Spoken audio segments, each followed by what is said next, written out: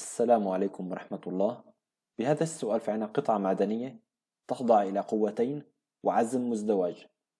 القوة الأولى مقدارها 320 نيوتن. القوة الثانية 400 نيوتن. والعزم المزدوج M مجهول القيمة وجهته بعكس جهة عقارب الساعة. محصلة القوتين والعزم المزدوج M تمر من النقطة O حدد قيمة العزم المزدوج M. نبدأ الحل.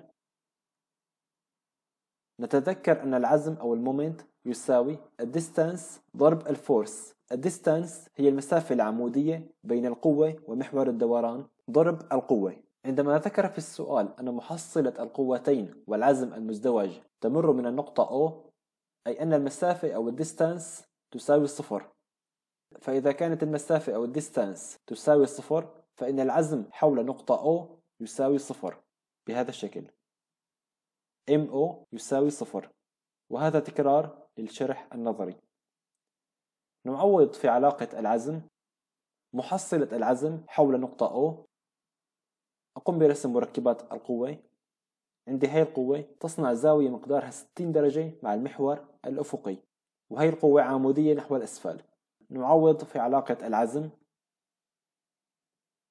MO محصلة العزم حول نقطة O يساوي ناقص R1 ضرب 400 ناقص R2 ضرب 320 ضرب cosine 60 درجة ناقص R3 ضرب 320 ضرب cosine 60 درجة زائد M.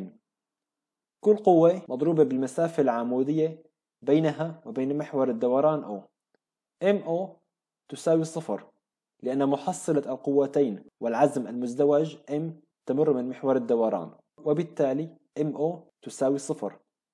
المجهول في هذه المعادلة هو العزم المزدوج M. نعوض قيمة R. R1 هي المسافة العمودية بين هذه القوة ومحور الدوران O. 150 ملم ضرب كوساين 30 درجة. هي المسافة العمودية. قسمنا على 1000 من أجل تحويل القيمة من ملم إلى متر. ووضعنا إشارة ناقص لأن القوة تتحرك حول محور الدوران O بجهة عقارب الساعة الجهة السالبة. ناقص R2 R2 هي المسافة العمودية بين هذه المركبة ومحور الدوران O وهي 300 ملم ضرب ساين الزاوية 30 درجة. هي المسافة العمودية. قسمنا على 1000 من أجل تحويل القيمة من مليمتر إلى متر ووضعنا إشارة ناقص لأن هذه المركبة تدور حول محور الدوران O بجهة عقارب الساعة الجهة السالبة. ناقص R3 R3 هي المسافة العمودية بين هذه المركبة ومحور الدوران O R3 تساوي 300 ملم ضرب كوساين الزاوية 30 درجة. قسمنا على 1000 من أجل تحويل القيمة من مليمتر إلى متر ووضعنا إشارة ناقص لأن هذه المركبة تدور حول محور الدوران O بجهة عقارب الساعة الجهة السالبة.